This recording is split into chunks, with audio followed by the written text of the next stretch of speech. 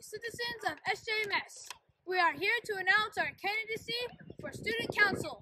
I, Jarom Tryon, will be running for president and CJ New for vice president.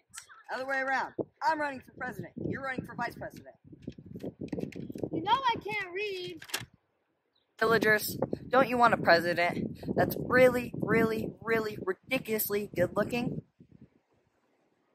And don't you want a really strong vice president to back him up? Ah! cut that out, cut that out! And don't you want a president who'll listen to all your great ideas? I got an idea. Silence, you fool! And really, I'm the brains of this operation. I'm just letting him think he's in charge. What do you say? Nothing, Master! Actually, I want to be president.